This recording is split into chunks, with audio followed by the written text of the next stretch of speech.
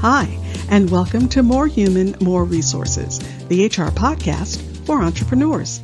I'm Vicky Brown, your host and CEO of Idomeneo Enterprises. As a serial entrepreneur, I understand that having the right expert help has been critical to my success. That's why I'm dedicated to telling you, in plain language, what's going on in the world of HR that might impact your business and what you need to do about it with real actionable tips to help you master that list of must-dos and grow your leadership muscle. First things first. The information contained in this podcast is provided for general purposes only and is not to be considered legal advice. Your decision to adopt or not adopt any practice or procedure mentioned in this podcast is solely yours, and we bear no responsibility for the outcome. We urge you to always consult legal counsel and other appropriate licensed professionals. And with that, let's get into the show.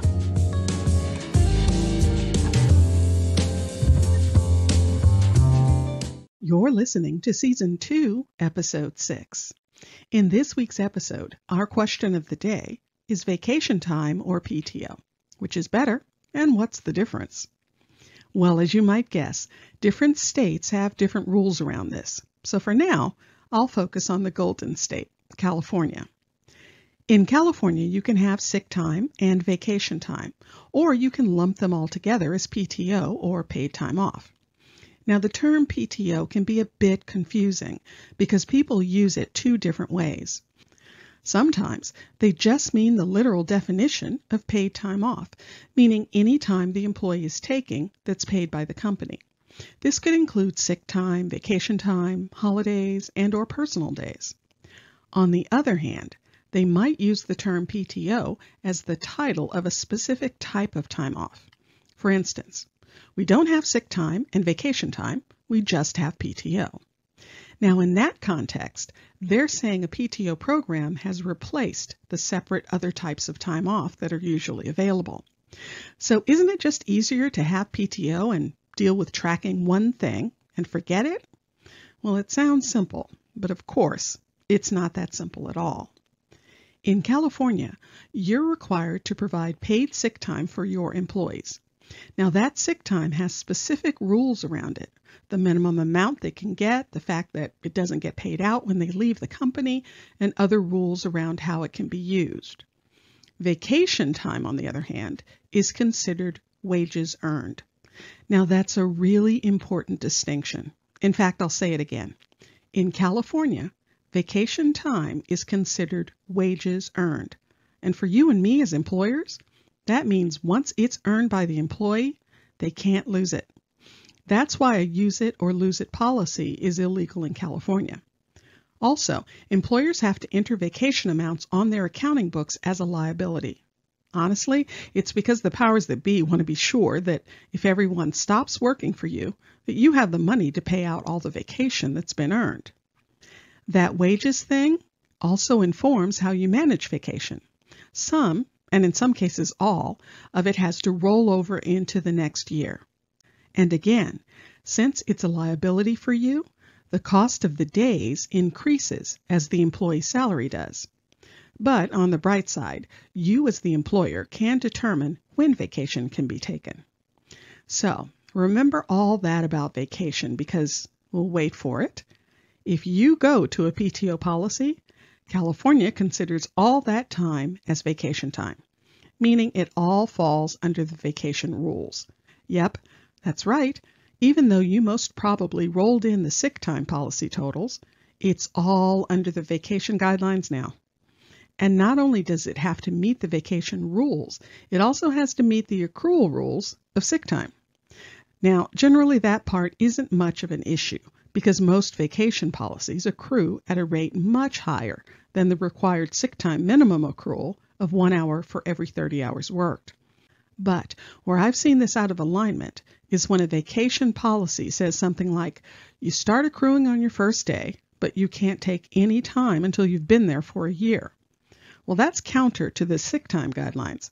So if you have a PTO policy, it has to at least meet the sick time rules. By the way, the you can't take vacation until you've been here for a year thing has its own issues, but I'll do a deep dive on that in a later episode. So, having said all that, PTO is generally more expensive to the employer. You have to keep the time on the books, and it rolls over and gets more expensive as salaries go up. You can probably tell I'm not a huge fan of PTO, but one thing is in its favor. It's relatively easy to track. After all, it's only one bucket, and everything comes out of that one bucket. So, if you do decide to convert from sick time and vacation policies into one PTO policy, here are three top things to think about. First, any vacation employees have on the books will stay on the books. Just because you're changing the policy doesn't mean they can lose anything. What you can do is cap the accrual amount and work out a schedule where they sort of use it down over a period of time. For example, I have a client converting to PTO, and some of their employees have 500 hours of vacation time on the books. And no, don't ask me why they have so many hours. We're just dealing with the situation as it's presented to us. Now, while these 500 hours will stay in place, the company can say that they're capping PTO at 200 hours. By the way, another thing to keep in mind is that the cap can't simply be one year's worth. The courts have seen through that ruse. So back to the cap. If they cap PTO at 200 hours, the people with 500 hours won't start accruing again until they have used more than 300 hours, because that will bring them below the cap.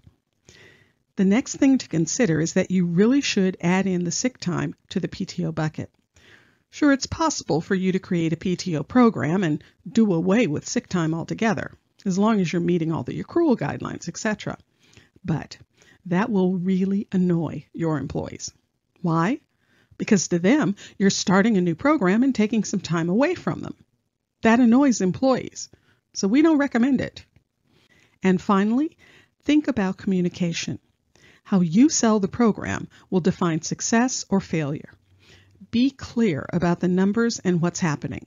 Prepare individual statements for each employee. Communicate in a variety of ways a written announcement, maybe a video, and also consider doing a kickoff meeting. Remember, different people take in information differently.